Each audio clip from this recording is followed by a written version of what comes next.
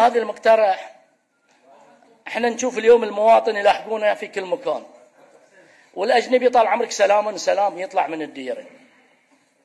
إحنا اليوم نشوف البلديات والكهرباء ملايين على الأجانب ما يقارب يمكن ابو فضل يبين لنا فوق ال 14 مليون البلديات.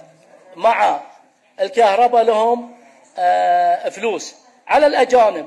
وراحوا من غير أي شيء عليهم. إحنا نتمنى طال عمرك أي شخص قبل ما يغادر البلد يكون على CPR ماله. إحنا تعلموا لنا طال عمرك اللي يونك حتى الزوار ذلين اللي يونك أو طلعون لهم CPR temporary.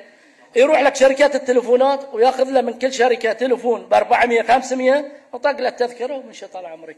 إحنا نتمنى أي شخص ما يسافر يجي يكون ياخذ السي بي آر ماله والاسم أي مخالفة عليه طال عمرك ياخذونها عليه. ما فيها شيء طال عمرك لا قلنا قانون غيروا ولا قلنا بدلوا طال عمرك أنتم اللي غيرتوا القانون لكم الحق.